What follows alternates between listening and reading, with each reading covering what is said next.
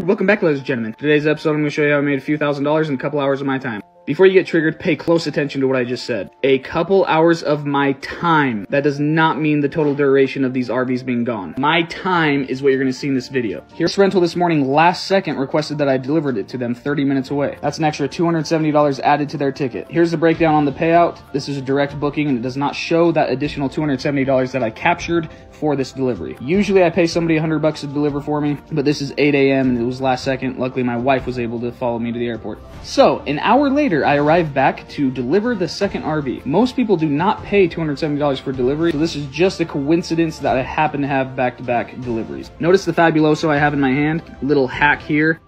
Pour some of this bad boy stuff down the toilet and it'll smell good the whole trip long. I usually do about one fourth cup. I usually just sprinkle, sprinkle, little star, I wonder what you are, and call it a day. Again, that is Fabuloso.